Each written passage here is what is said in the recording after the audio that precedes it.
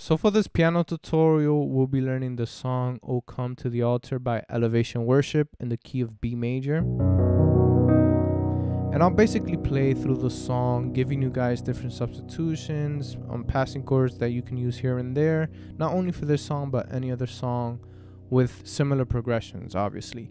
And I'll play through the whole song now to give you a better idea. And you'll notice that I'll play in some parts the melody of the song, and in some parts I'll just play the chords. And you might have to sing the song in your head to be able to keep up, all right? So B major.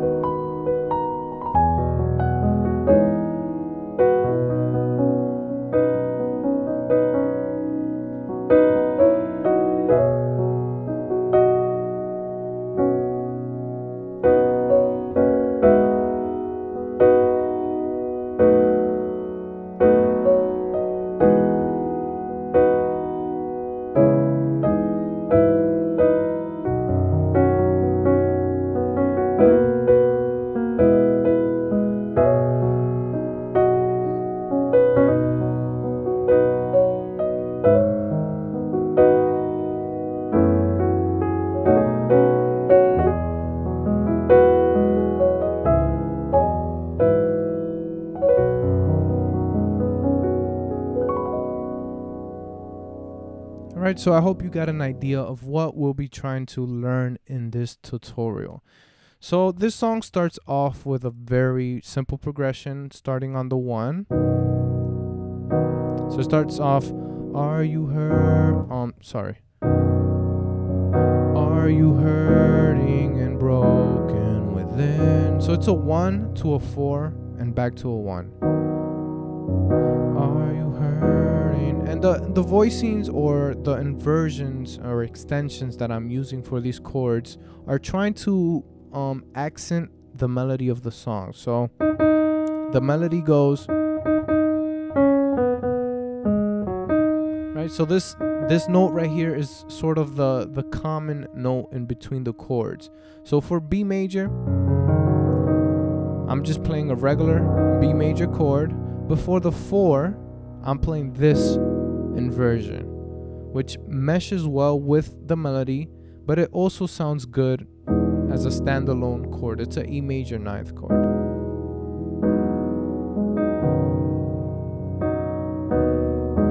And again, there's um, very small things that we can do, like a small passing chord from the three to the four. Very easy to do that three is technically a one over three, but in in church in the church setting we call the three just a three, or the one over three just a three. All right.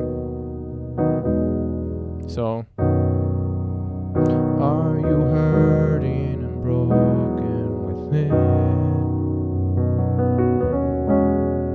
There's different voicings that we can also do for the four, something like this right? A E six nine. That six nine voicing also very popular in that gospel jazz type of sound.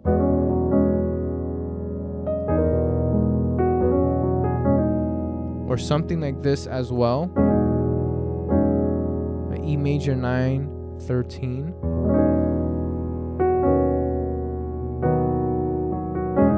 Right?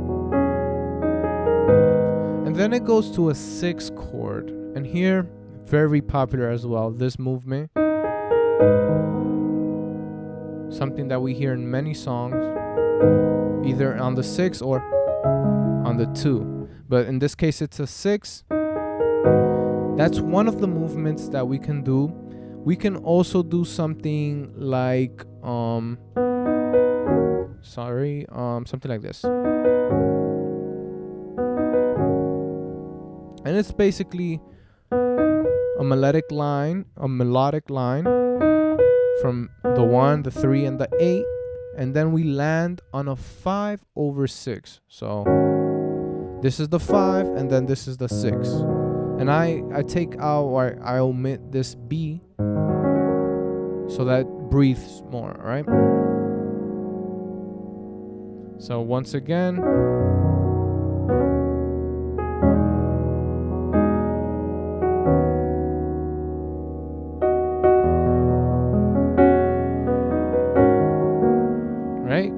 Can even resolve this chord to a A flat minor or minor 9 with this voicing.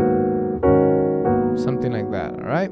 Jesus is calling. And in this part right here, um, I think I heard it from a version by Israel Houghton, and I try to, um, I guess, resemble that version by doing this and this part, and Jesus is calling. So, um,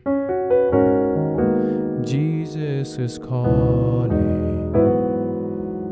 And we're basically walking up with three chords a two, a four, and then a six. And all of these chords, what they have in common is that they basically serve as a substitution for one another.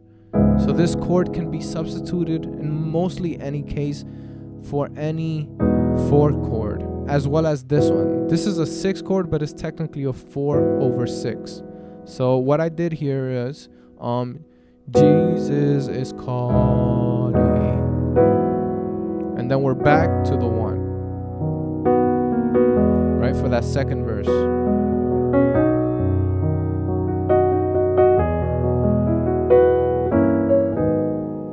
And here, as you heard, a different approach to that six chord, that minor six.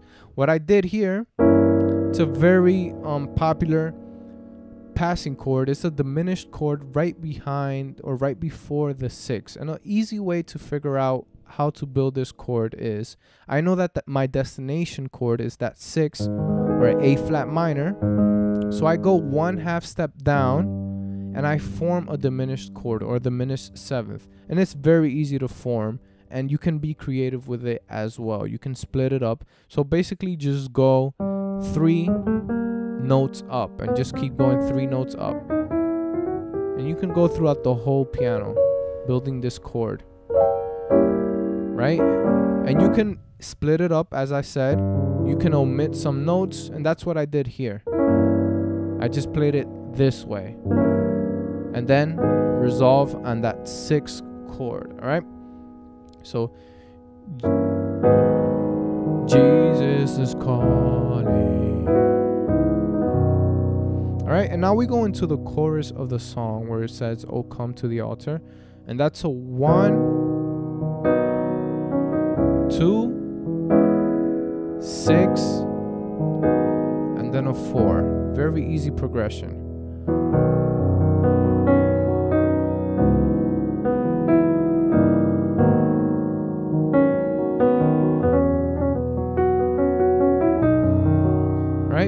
As you heard, I included that same diminished chord right behind the six. That's the good thing about these passing chords is that they tend to work anywhere um, that has a similar type of progression or similar chord um, structure. Right? So let's see what we can do for this part of the song. So, oh, come to So here I'm playing voicings um either minor seventh or minor ninth. So for B I keep it regular simple. Oh come to then a minor ninth boy voicing for the two. The altar then a minor ninth voicing for the six as well. And then something that I do for the four is play around with like a tension chord and then a released chord. So for the tension chord, what I do is play a 5 over 4. Right? So the 5 is a F sharp and any voicing. Right? So, and then the 4 is basically my bass note on an E. And then I resolve. So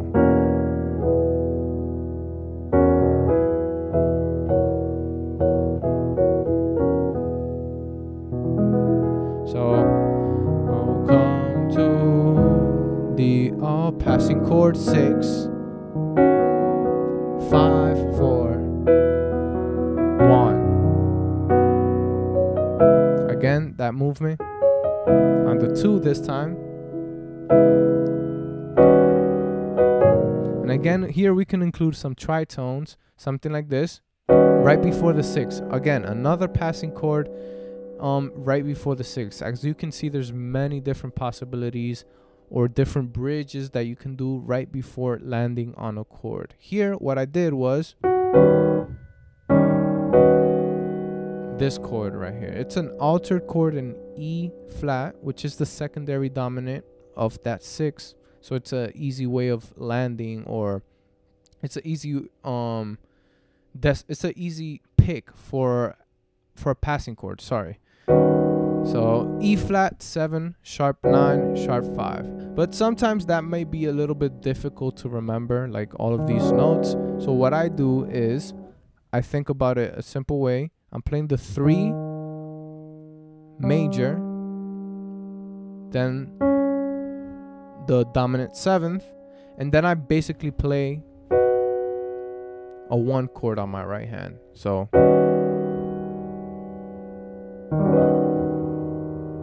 and then I land on the 6. And in this case, the voicing for the 6 is a 5 over 6. So 5 over 6 minor.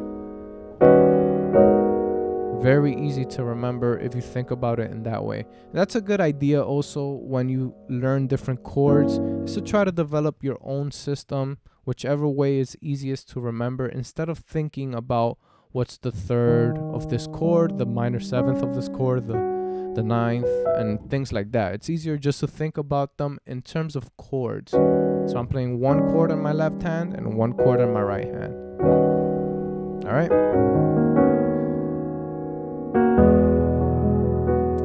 So in this part, um, oh come to the altar, the Father's arms are open wide. We can do that transition back into the one. I just thought about it right now. It's basically going up the major scale starting from the four. So we play a four, five, six.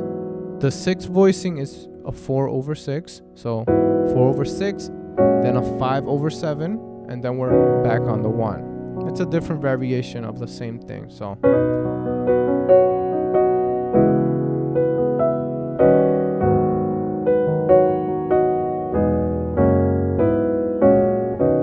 little bit different than what we did before. All right, so different ideas that you can implement to this song. Now let's move on to the the bridge. I think it's called. It's basically where it says, um, "Oh, what a savior." So the the chords for the song, um, for this part of the song, the progression is one, one.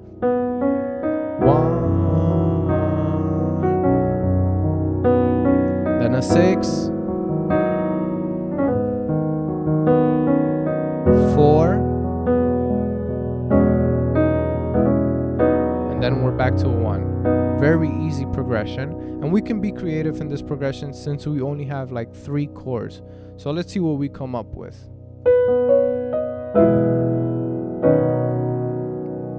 Right here, what I did was start on the four instead of the one. So sort of a, a, pedal point type four. What that means is that I'm keeping my bass on the one while playing a four on my right hand. And then we resolve it into a regular one chord. So four over one and then one over one.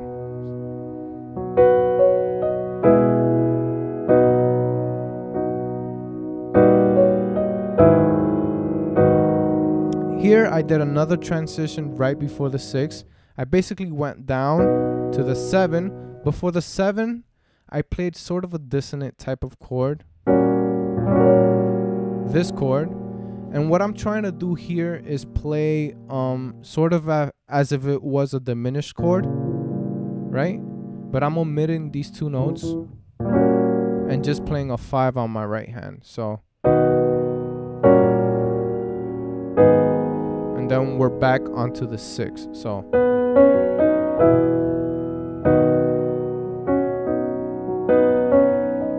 oh, I'm sorry about that.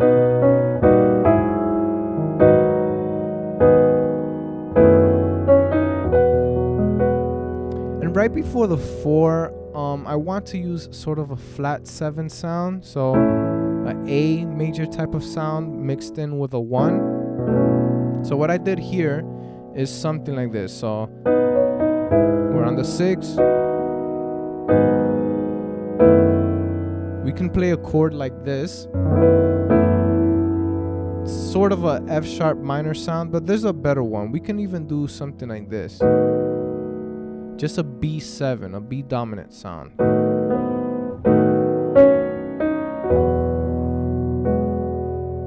And right before we land on the 4. So dominant sound and then a 4.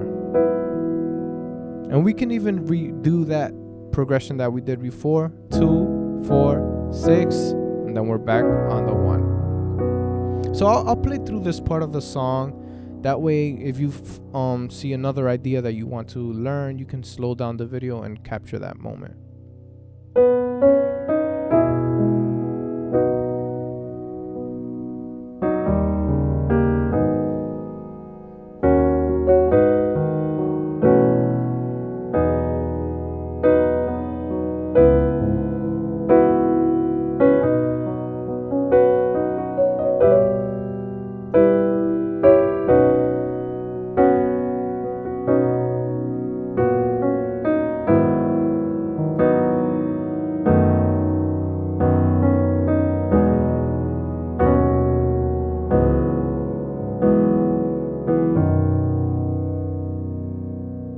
right so that that five chord i just want to show you guys real quick before i end the video.